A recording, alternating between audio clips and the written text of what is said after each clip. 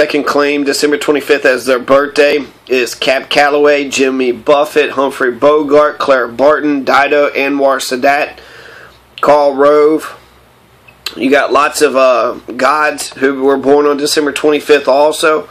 You had Krishna of India, was born December 25th, 3228 BC. You had Apollo, Attis, Bacchus, Dionysus, uh, Heli- Helios, Helios, H E L I O S, Horus, Jupiter, Krishna, Mithras, Nimrod, Perseus, Tammuz, Sol Invictus, Buddha, Hercules, Amun Ra, uh, the sun god Ra, Zeus, uh, Quetzal, Quetzalcoatl, Prometheus, Hermes, Hercules, and Bedau. So, right, Horus, Buddha, Mithra, Bedau, Attis, Sol Invictus, Prometheus, Bacchus, Hermes, Tammuz, Hercules, Buddha. So all these gods can claim December 25th as their birthday, right? Krishna, Mithra, uh, Zoroaster. Well, Zoroaster, I don't know if was actually born. So besides Zoroaster, every other name that I had just named, and Jesus Christ, are the only two um, people that we can say definitely were not born on December 25th. There's the um, there's some big festival actually the the tabernacle the the feast of the tabernacles. Uh, it was in late fall is when Jesus was actually born. It was designated by a pope. So December 25th has never been Jesus' birthday. It hasn't been for a long ass time. But it was the birthday of many Jesus-like gods.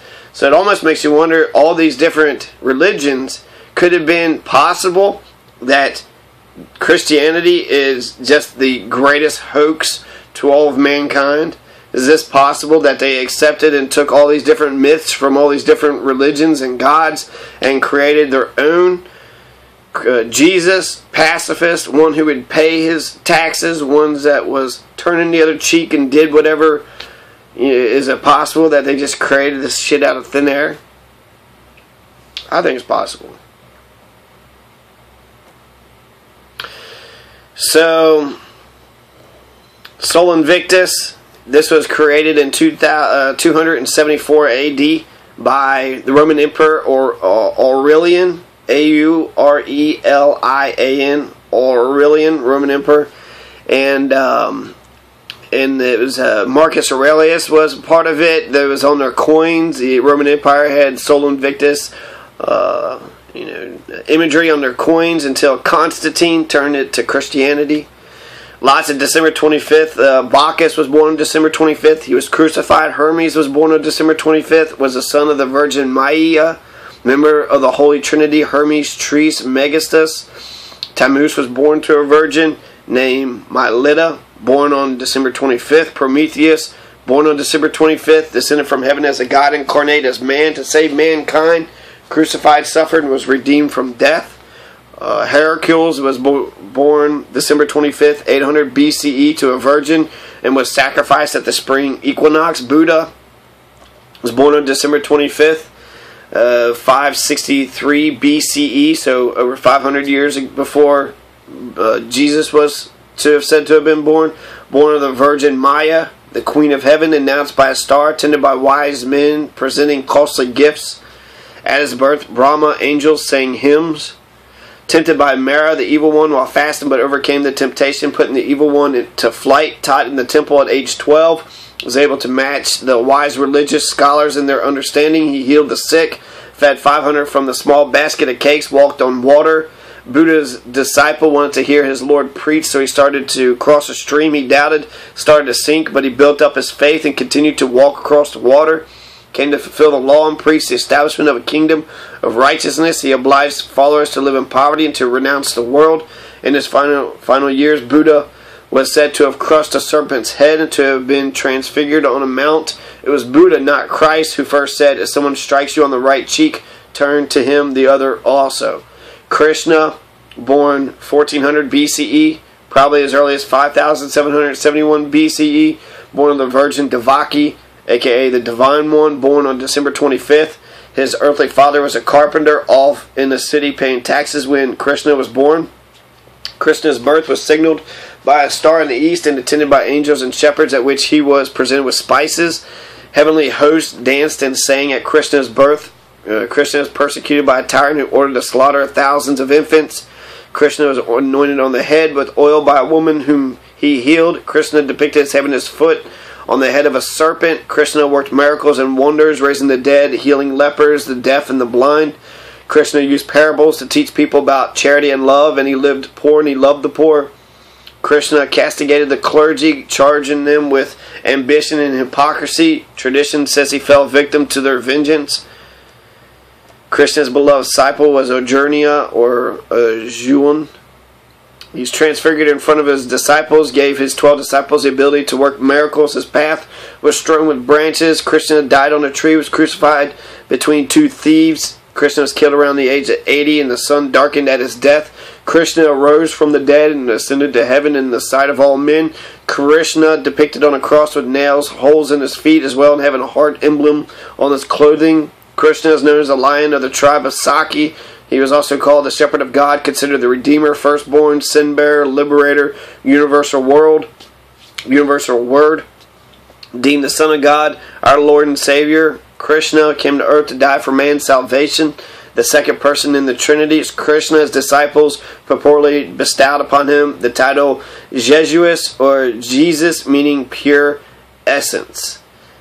So Krishna's name was even Jesus, right? Mithra of Persia 600 BCE, born of a virgin on December 25th in a cave. His birth was attended by shepherds bearing gifts. Uh, Mithra of Persia, considered a great traveling teacher and master. Mithra of Persia had 12 companions or disciples. Mithra had followers who were promised immortality. He performed miracles. The great bull, the sun, Mithra sacrificed himself for world peace. Mithra was buried in a tomb, after three days he rose again. Resurrection was celebrated every year. Mithra is called the Good Shepherd, identified with both the Lamb and the Lion, considered the way, the truth, and the light, and the Logos, Word, Redeemer, Savior, and Messiah. Mithra, the sacred day was Sunday, the Lord's Day, hundreds of years before the appearance of Christ. Mithra had his principal festival on what was later to become Easter.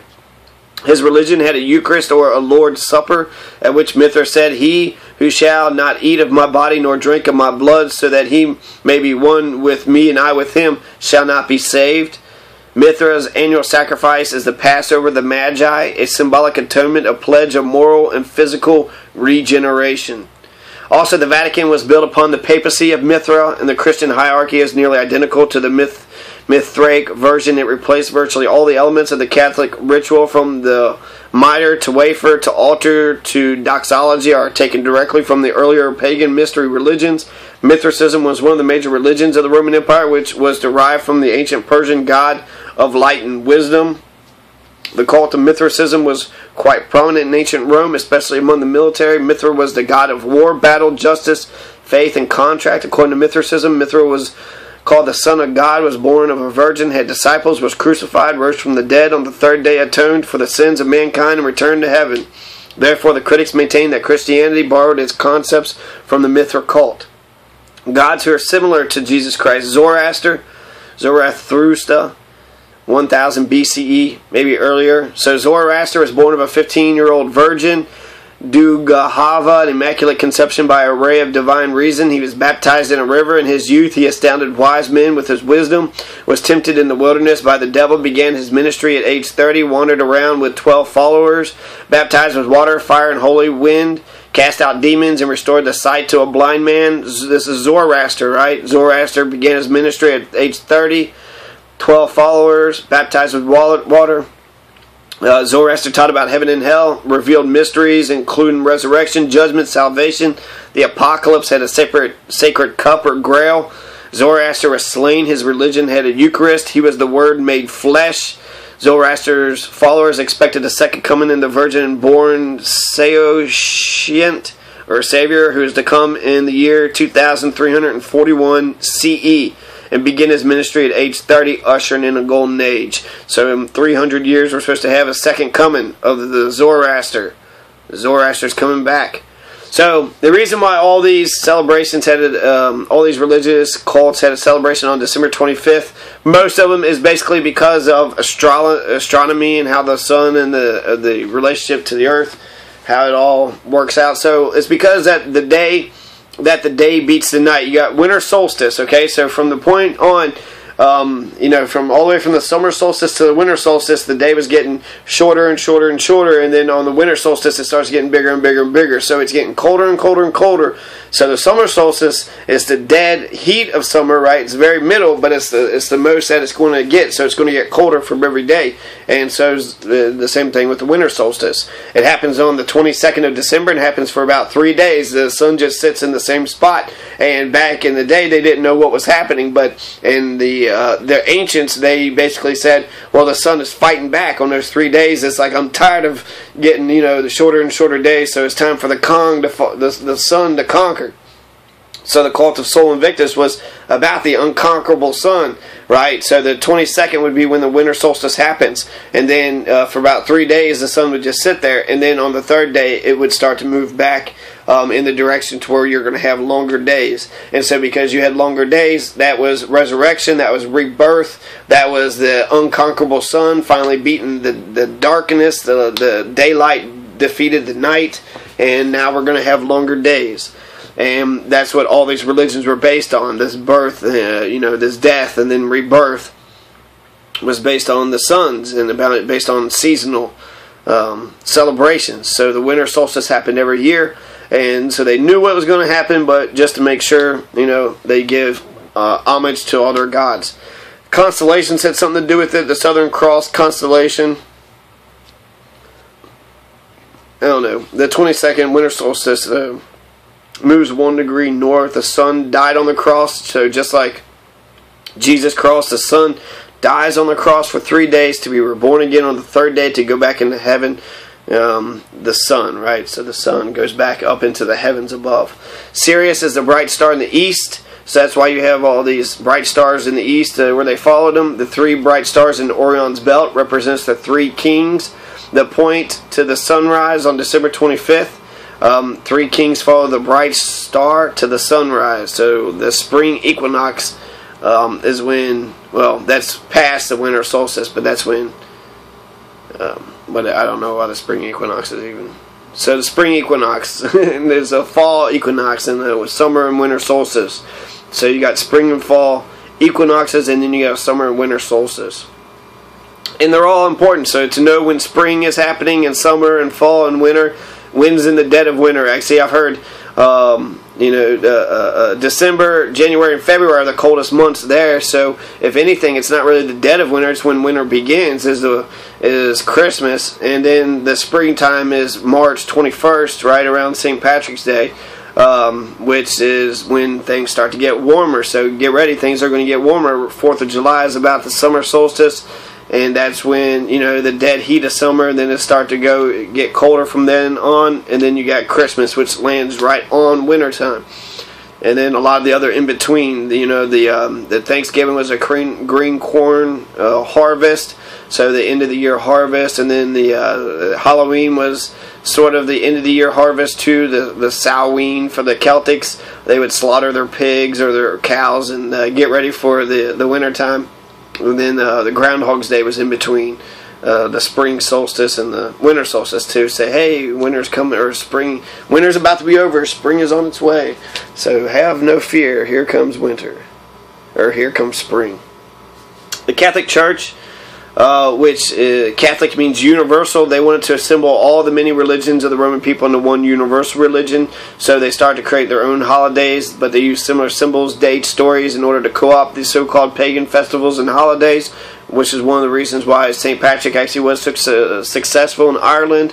Catholic Church combined Samhain and All Souls Day, All Saints Day to become Halloween in order to cover up Sam, Samhain the popular end of the harvest season of the Gaelic Celtic festival. Christmas is a cover up for Saturnalia, a Roman holiday celebrating the farm god Saturn. Valentine's Day gobbled up Lupercalia, another popular Roman holiday designated and covered up by the Catholic Church. So it's no surprise that this is what the Catholic Church has been doing for quite some time, co opting pagan religions. Um, the Valentine of Rome, it's total bullshit, but it is said that he kept on marrying folks in spite of the Roman Emperor Claudius II ordering all marriages banned so he'd have more cannon fodder to be expendable stormtroopers for his Roman Empire, but this is total bullshit. Complete fabrication because Emperor Claudius II actually never issued this marriage ban. In fact, Claudius II told his soldiers to take two or three women for themselves after his victory over the Goths. So don't just marry one, marry many. So the entire Saint Valentine story is complete bullshit. Valentine's Day established by the Catholic Church in 496 AD on February 14th by Pope Gelasius I in order to cover up the wildly popular uh, Roman pagan ritual of Lupercalia.